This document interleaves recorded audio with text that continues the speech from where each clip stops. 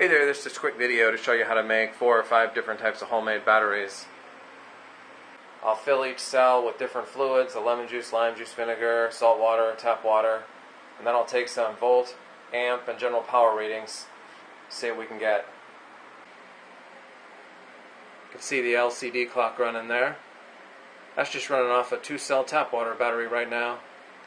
I just wanted to show you this five cell lemon battery. I actually got it to run this buzzer. It's pretty cool. So five lemon cell batteries. We'll hook it up to this small buzzer. There it is.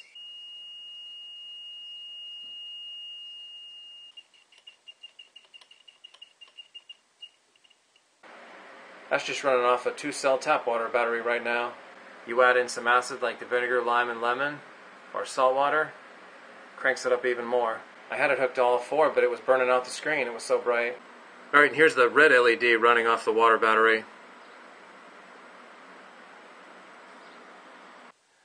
Okay, here's the flickering tea light. I got it hooked up to the 4-cell vinegar battery right now. You can see that works pretty good.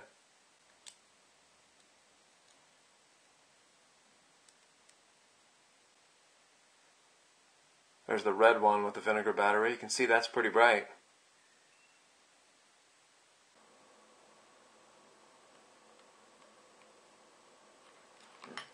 And the wires.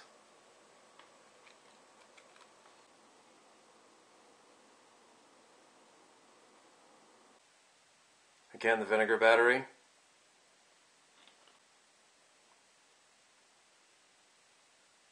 It's amazing the things you can extract electricity out of.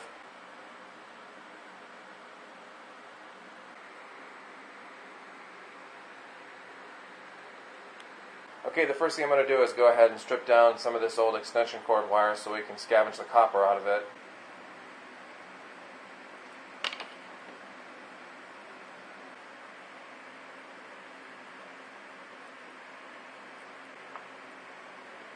Cut them down.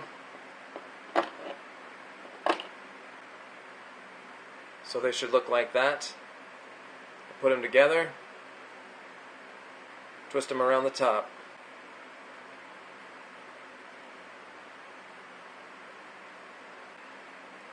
I'm going to use two of those pieces per screw of a nice thick piece of copper. Just bend it about there. You should end up with something that looks about like that. So that'll connect cell 1 to cell 2, and then just do this a couple more times.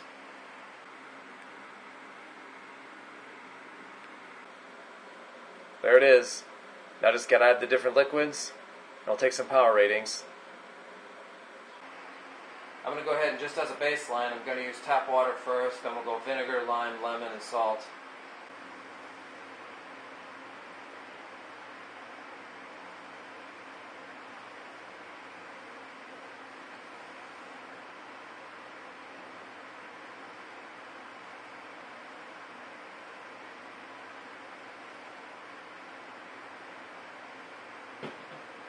Alright.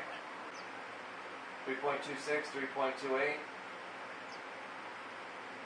Alright, now I'm going to go ahead and try a vinegar battery.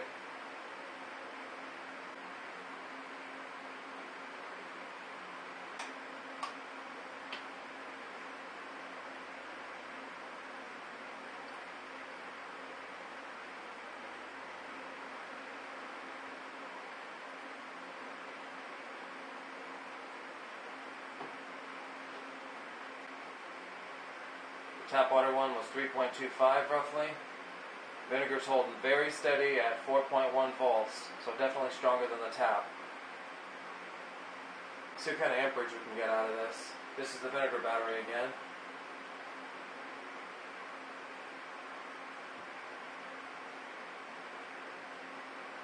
Two point three. Let's move on to the. I'm going to go with the lime next.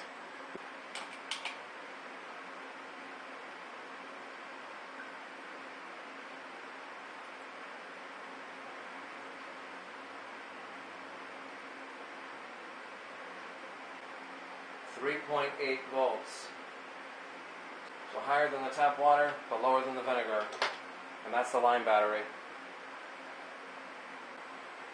That's the amperage or milliamperage, 1.1 something.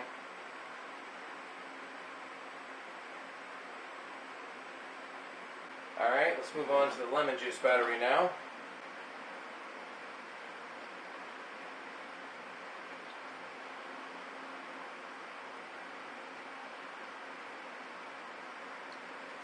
Alright. 3.95. So a little bit higher than the lime juice.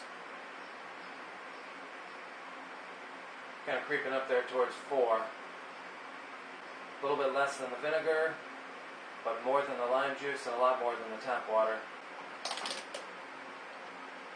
And milliamps.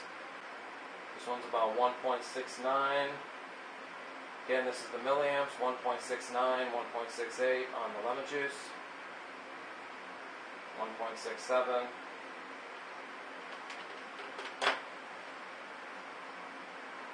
Okay, and finally the saltwater battery.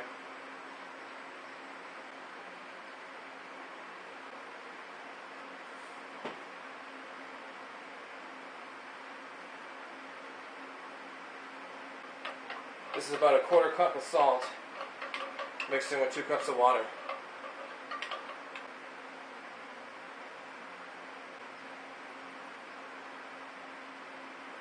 Alright.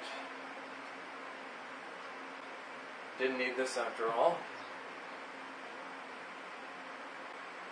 Showing 3.01, 3.00, almost exactly 3 volts out of the saltwater battery pretty low in the milliamps on the saltwater battery. Dropped all the way down to 0.89, 0.9, 0.89. You notice I got these all hooked in series for the voltage. If you want to get higher amperage, just hook some of them in parallel too, so you get the right voltage and amperage mix for whatever you want to run. Just figure anything that runs on a button cell battery, you can probably run on one of these water batteries or juice batteries. It's amazing the things you can extract electricity out of. Certain fruits and vegetables will work as well.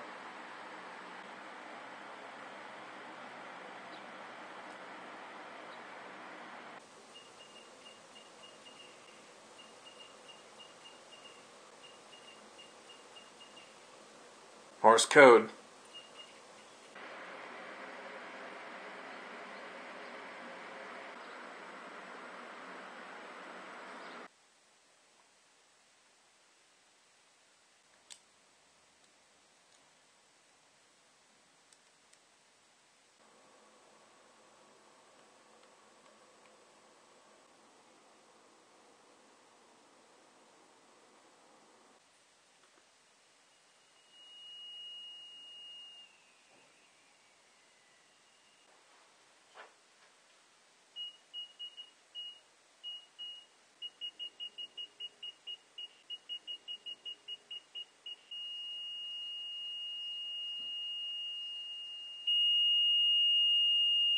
There it is.